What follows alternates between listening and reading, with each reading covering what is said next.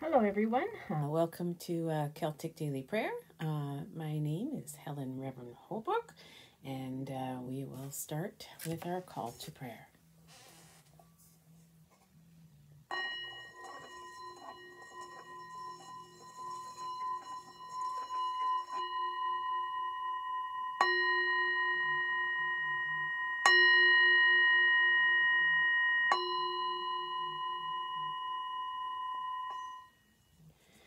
Dotheneb, Dotheneb, Dotheneb, Dotheneb, wisdom, wisdom, wisdom, wisdom.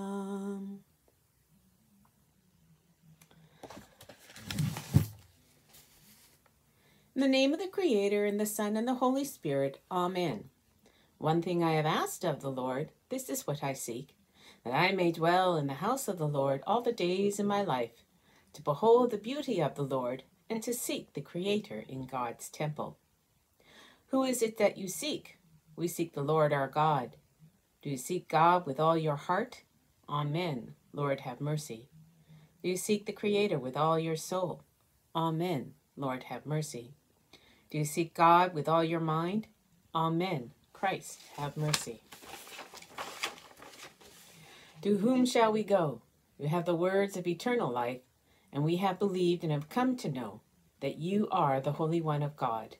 Praise to you, Lord Jesus Christ, King of endless glory. Our scripture readings, and today I'm going to, for a change, read from the message. That's this one. Uh, we have uh, Psalm 42, 4 to 5. These are the things I go over and over, emptying out the pockets of my life. I was always at the head of the worshiping crowd, right out in front, leading them all, eager to arrive and worship, shouting praises, singing thanksgiving, celebrating all of us, God's feast. Why are you down in the dumps, dear soul? Why are you crying the blues? Fix my eyes on God. Soon I'll be praising again. God puts a smile on my face. God's my God. And then uh, to Jeremiah uh, 23 18. Jeremiah 23 18. Have any of these prophets bothered to meet with me, the true God? Bothered to take in what I have to say, listened to, and then lived out my word? Look out, God's hurricane will be let loose, my hurricane blast.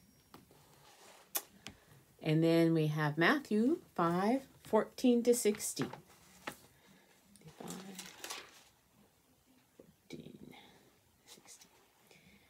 Here's another way to put it You're here to be light bringing out the God colors in the world. God is not a secret to be kept. We're going public with this as public as a city on the hill. If I make you light bearers, you don't think I'm going to hide you under a bucket, do you?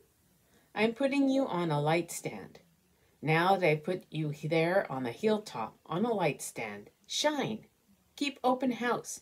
Be generous with your lives. Be open up to others. You'll prompt people to open up with God, this generous creator in heaven. Lord, the word of the Lord. And a reflection for May the 6th. Many whom God has, the church does not have, and many whom the church has, God does not have. Who is the target of most of our communication of the gospel? Who are we seeking to reach? Some churches or ministries are seeker driven, fashioning their approach to bring and effectively speak to secular individuals. They seek to reach unchurched non Christians and turn them into devoted followers of Christ. Sometimes the focus is on is unchurched Christians, those who claim a relationship with Jesus but are not committed to any group of believers. Another concern would be reaching church unbelievers, individuals who attend a place of worship but for whatever reason remain untouched by the gospel. Then there are many churches whose main target, whether they want to admit it or not, is church Christians. The content, language, and style of all we present should be appropriate to our intended audience. Um, as we know, um, there are various uh, different styles of uh, Christian churches throughout the world. And uh, so, currently, in a lot of the faith based, um, there is a challenge in how do we re envision church. And um, it is a challenge in the sense that revelations have proven that there has been some hypocrisy and poor treatment of uh, whole communities and cultures in the history. So, how do we go beyond that? How do we truly live uh, the word of God in terms of loving thy neighbor as thyself? Where do we hear the needs? Um, what is the need of the time? Are the needs outside these walls? Um, I went to a, uh, a discussion led by uh, Nadia Bolz Weber and she had that really good question uh, that many churches need to look at in terms of their own inventory as a church and ask if we continue as we are, what would be the result? And ask it honestly. So, if a church is particularly for the church and for those in the current style as is, and sometimes it's the hope that people will wake up and realize well, if I do everything traditionally and I will come to church, and you will often hear many of the uh, people within that church say, Where are all the young people? Why do they not come? It's a good question.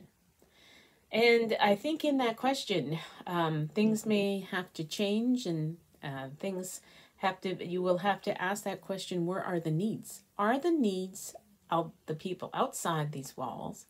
Is it for them to be in these walls? Now, that is a good question. What are the spiritual needs, the economic needs, the emotional needs of the population of this time? Because are we not truly like Jesus? Jesus did not preach in any particular wall or church. The Celtic uh, monks of the time, they did not preach inside the walls. In fact, I remember on a uh, archaeological dig in Scotland, all you had was a very small little church, and church was held outside.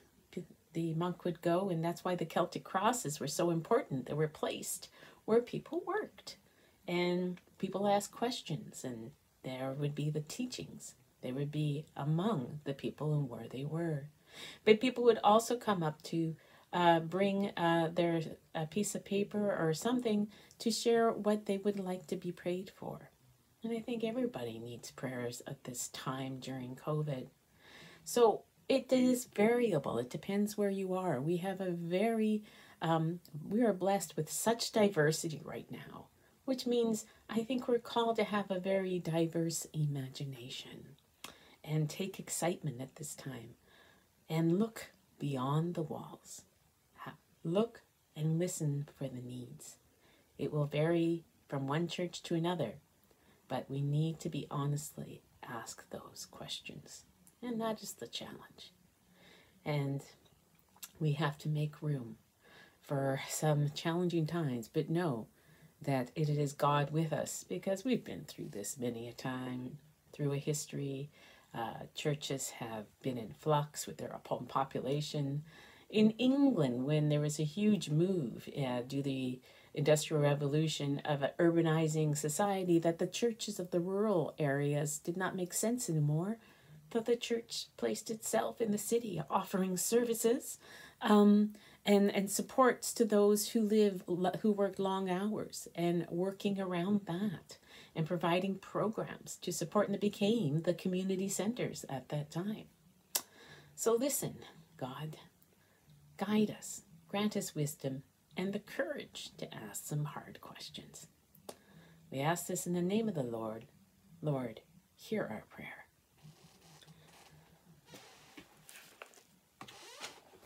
And so,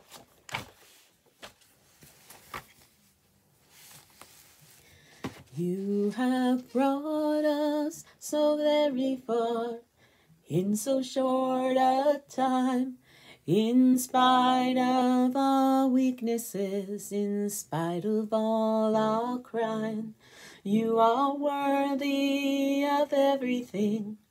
Every word of praise, every song we will ever sing, fountain of all grace, our high priest, make us a house of peace. Like the sun on a mountain top, a city on a hill, like a river that never stops. Let our love reveal that you are worthy of everything. Every word of praise, every song we will never ever sing fountain of all grace, our high priest, make us a house of peace. In the cold of the winter's night, in the summer's day, in the changes we often fight, let us learn to say that you are worthy of everything. Every word of praise, every song we will ever sing. Fountain of all grace, our high priest, make us a house of peace. Let us call to mind, oh, those concerns and prayers we carry deep within our heart, and lift them up to our Lord Jesus Christ in this moment of silence.